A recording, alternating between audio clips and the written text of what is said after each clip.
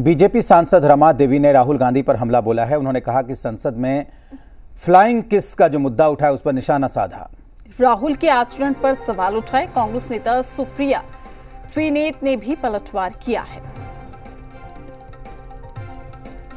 वो लास्ट में फ्लाई किस देने की बात हुई।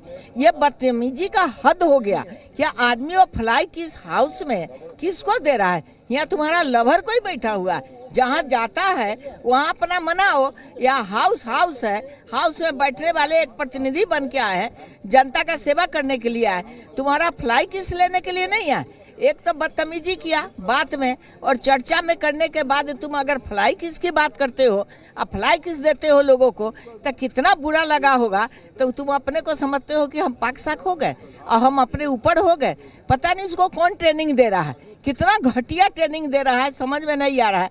ये कहा जाता है कि नाम बड़े या कौन छोटे, वही वाला हो गया है। कल तक घिना कर चला गया। इतना घिनाया है, इतना निंदा है। रानी ये भूल जाती है कि ये टेलीविज़न चैनल नहीं है। ये भारत का सदन है। आपकी नौटंकी का अखाड़ा नहीं है। अपनी बेकार की एक्टिंग और झूठा आक्रोश बंद कर दीजिए। मणिपुर पर बात हो रही है। हर वक्त मुद्दे से बरगलाने की, मुद्दे से भटकाने की कोशिश बंद कर दीजिए। दम है तो मणिपुर पर बात करिए। बेवकूफ़ी का आपने वहाँ पर भाषण दिया और अभी फैक्ट चेक करूँगी मैं और बताऊँगी कैसे आप वीपी सिंह की सरकार में शामिल थे, समर्थन दे रहे थे, जिन वाक्यों को आपने गिनाया। तब आपके लोगों ने कुछ क्यों नहीं किया? आज आप क्विट इंडिया मूवमेंट की बात करती हैं। किस मुँह से बात करती हैं क्विट इंडिया मूवमेंट की?